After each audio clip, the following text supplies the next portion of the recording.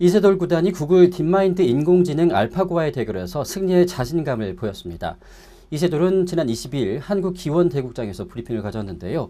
이 자리에서 이세돌은 지난 10월 알파고가 유럽 챔피언 판후이 2단에게 승리를 한 것을 알고 있다. 하지만 알파고는 아직 나에게 승부를 논할 수준은 아니다. 라면서 방심은 하지 않겠지만 박빙의 승부보다는 한 판을 내주거나 아니면 전승하는 결과로 초점이 맞춰질 것이라고 아주 자신감을 피력을 했습니다.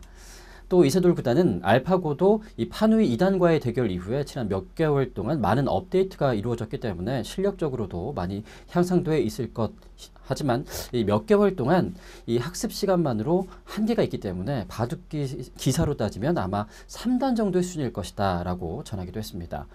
이세돌과 알파고 간의 구글 딥마인드 챌린지 매치는 오는 3월 9일부터 15일까지 총 5회 대국으로 접바둑이 아닌 호선으로 진행될 예정인데요. 시간 제한은 각각 2시간으로 이후 1분 초읽기 3회씩 주어지게 되면서 백을 잡은 기사에게 덤 7.5집을 주는 중국 바둑 규칙에 따라서 경기를 갖게 됩니다. 구글 딥마인드 챌린지의 전 경기는 구글 딥마인드 유튜브 채널을 통해서 생중계가 되고요.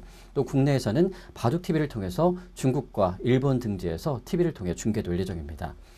이 챌린지 우승자에게는 미화 100만 달러의 상금이 주어지게 되는데 만약에 알파고가 승리를 하게 되면 상금은 유니세프와 또 STM 교육 및 그리고 바둑 관련 자선단체에 기부가 될 예정입니다.